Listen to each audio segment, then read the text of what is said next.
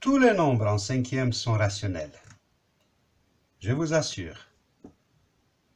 D'abord, qu'est-ce que c'est un nombre rationnel? Un nombre rationnel, c'est un nombre qui s'écrit sous la forme de a sur b. a et b étant des entiers.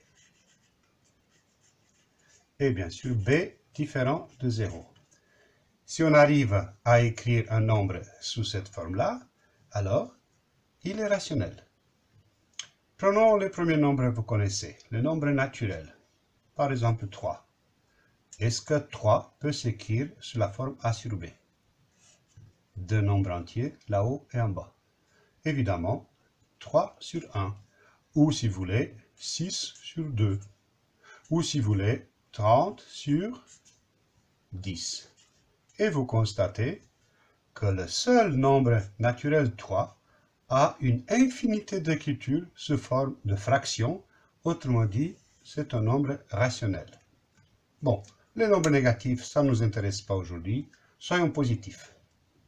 Quoique aussi les négatifs sont aussi rationnels, mais on a besoin de la division de nombres positifs, négatifs, et ça c'est un quatrième. Alors, qu'est-ce qu'il y a après les nombres naturels? Le nombre décimaux, 2,7. Est-ce que 2,7 peut s'écrire sous la forme A sur B? Si je vous dis ici que je vais mettre 10, combien vous mettez là-haut? Bien sûr, vous mettez 27. Et bien sûr, c'est égal à 270 sur 100, égal, etc. Regardez, de nouveau, une infinité de façons. 2 sur 7, il est rationnel. Est-ce qu'il est entier? Non, le septième, c'est pas entier. Est-ce qu'il est décimal? Ben, Tapez à la calculette, vous allez voir qu'il y a des décimales, énormément décimales, qui ne s'arrêtent jamais.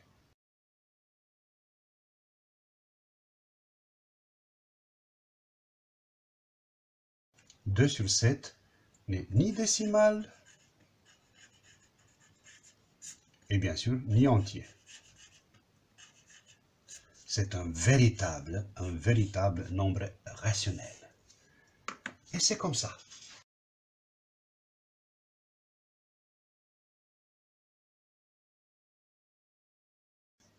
L'inverse.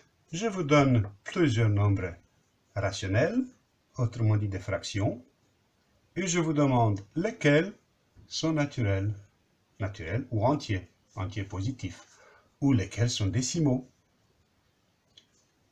à vous de juger, à vous de faire certains calculs, certaines simplifications. A, B, C, D, E, F, G, H. Voilà, petit exercice d'entraînement.